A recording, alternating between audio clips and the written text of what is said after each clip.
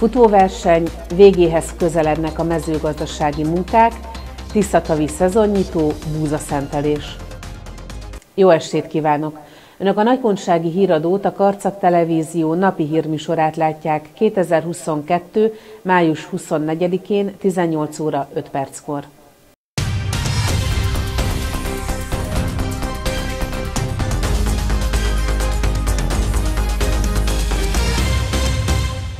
A Kovács napok kezdeteként a Kájami most is megrendezte a szokásos városi futóversenyét, amelyről Karas Elvira intézményvezetőt kérdeztük.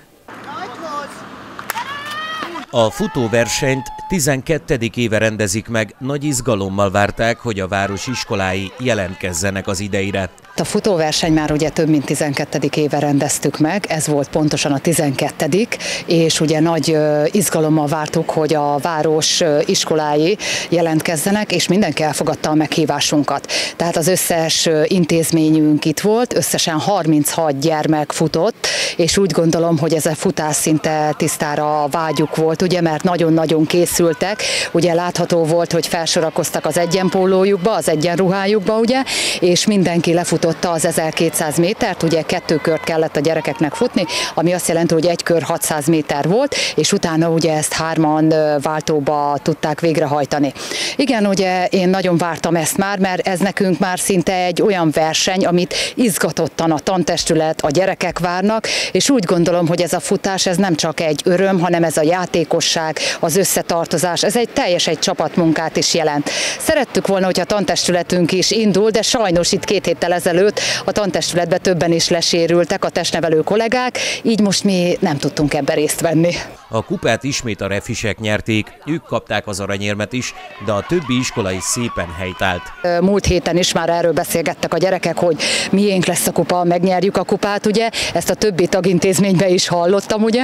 És igen, visszakerült. Én úgy gondolom, hogy jó helyre került, tehát nagyon erősek voltak a refis gyermekek, tényleg akkor átfutottak, ami időben is, méterben is, tehát tényleg ez már ők hozzá vannak szokva, de úgy gondolom, hogy helytált az összes iskola is, tehát nagyon bírták a gyerekek, volt egy húzam, ugye, húzták is egymást, tehát próbálták rekörözni, és aminek a legjobban örülök, hogy baleset ugye nem történt. Mert azért nem egy könnyű pályáról beszélünk itt, ugye régen mindig a Kovács kapuig kellett kifutni a gyermekeknek, az egy simább, hosszabb táv volt, ugye, de már most ugye a közlekedést figyelembe véve ugye a nagy forgalom miatt, ezt ugye nem mertük bevállalni, és így maradt itt a víztorony körüli pályarész nekünk.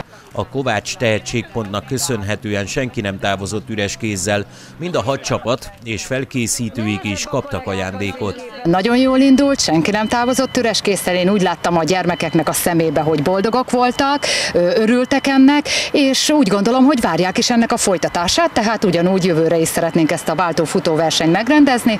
A holnapi napon megfolytatjuk ugye a koszorúzással, ugyanígy megemlékezve a Kovács Mihályról. Az április második felében és május első napjaiban tapasztalható időjárási körülmények összességében lehetővé tették a tavaszi szántóföldi munkák sikeres elvégzését Karcagon. A tavaszi vetés területek emelkedése további bizakodásra adhat okot az idei évben. A karcagi vetések, a talajmunkák és a tápanyag utánpótlás a szokásosnál hűvösebb időjárás ellenére is nagyobb csúszások nélkül elkészültek.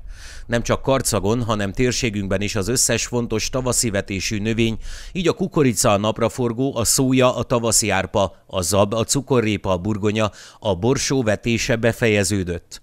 A vetések a növényfajoknál 90% felett állnak, tehát napokon belül végezhetnek a gazdák a még fennmaradó területekkel, tette hozzá a tárcavezető. A tavaszi vetésű növényfajok közül a szemes kukorica 1 millió 50 ezer hektáron, a napraforgó csak nem 700 ezer, a szója pedig 61 ezer hektáron kerülhet a földbe. Ezek a vetés területek lényegesen magasabbak az elmúlt egy, illetve öt év átlagértékeinél, ami az orosz-ukrán konfliktus következtében kialakult bizonytalan helyzetben megnyugvást jelenthet a piac számára.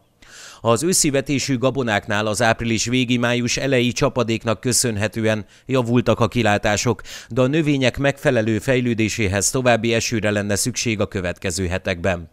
A tavaly novembertől idén áprilisig uralkodó szárasság hatása az őszi vetésű állományok közül leginkább a repce esetében látható, amelynek idén a szokásosnál alacsonyabb a vetés területe is.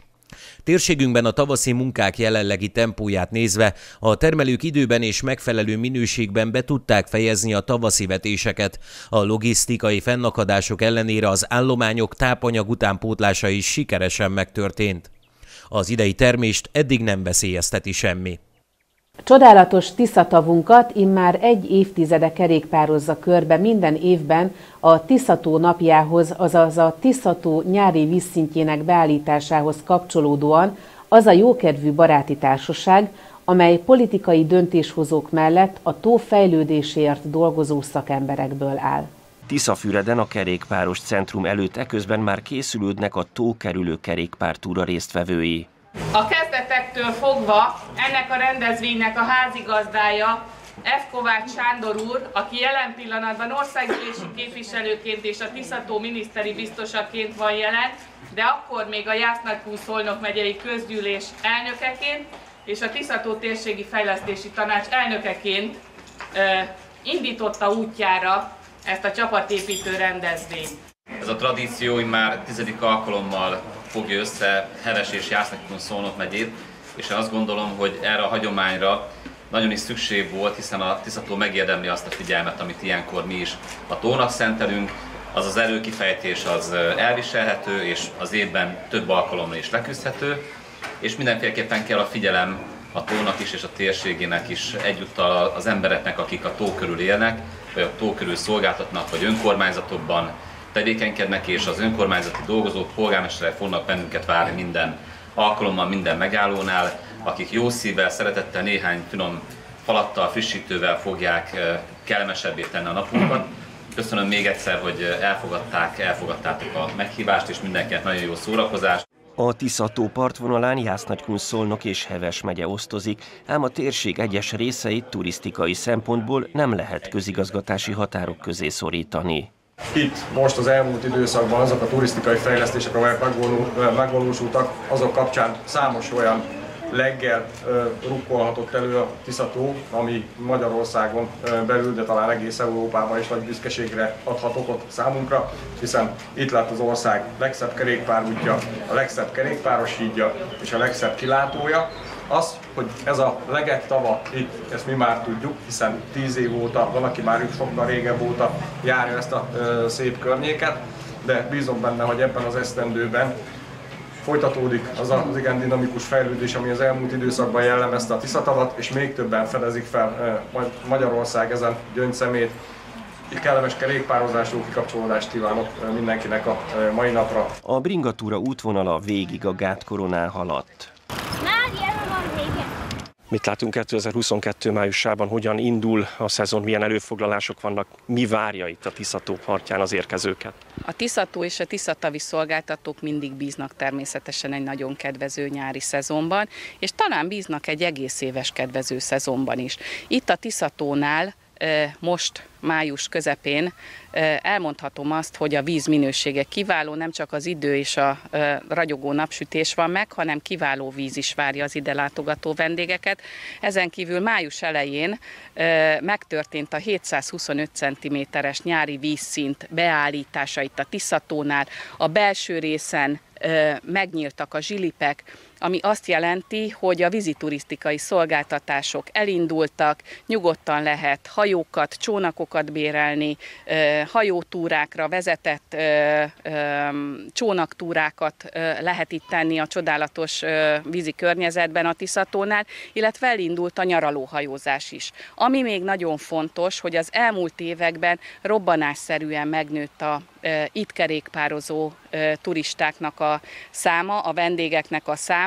Évről évre elmondhatom, hogy rekordot dönt, dönt az ideérkező kerékpárosok, illetve aktív turisztikai szolgáltatást igénybevevőknek a száma, és számukra egy nagyon jó hír, hogy itt a 63 kilométeres gátkorona körön több szakaszon is megújult a útfelület, úgyhogy egy sokkal kedvezőbb körülmények között tudnak kerékpározni. Ami még nagyon fontos, hogy ugye itt a sorompók viszont lezárultak, amely egy biztonságosabb, sokkal biztonságosabb és autóktól mentes, döntően mentes kerékpározást tesz számukra lehetővé.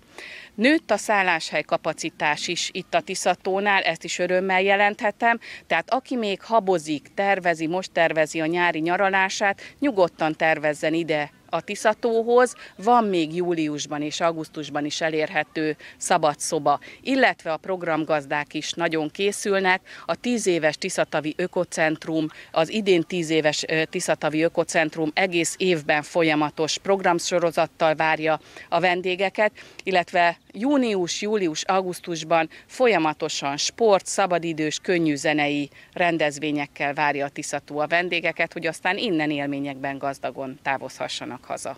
Magyarok kenyere 15 millió búzaszem program keretében búzaszentelésre került sor Kunhegyesen a református templomban. A buzavetésre és minden jószágra áldást kértek Kunhegyesen a református templomban hogy nyára bőterméssel, szaporulattal ajándékozzanak meg bennünket, és sem kártevő, sem kórokozó, sem elemi kár ne veszélyeztesse a termést. Könyörülő szeretetedbe ajánljuk a vetést, az elvetett magot, az ősszel vagy tavasszal elvetett magokat, hogy az életté áldásra legyen.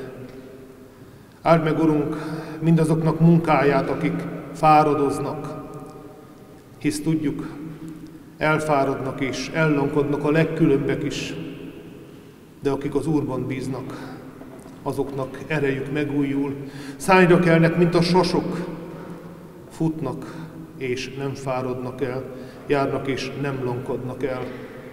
Így áld meg a munkálkodókat, a vetőket, az aratókat, az örlőket és a kenyerkészítőket, hordozd kegyelmesen, ami hazánkat, népünket, nemzetünket. Isten áldja a magyar földet, Isten áldja a magyar gazdákat, molnárokat és pékeket, akik a mindennapi kenyerünkről gondoskodnak, mondta Huba Imre Kunhegyesen.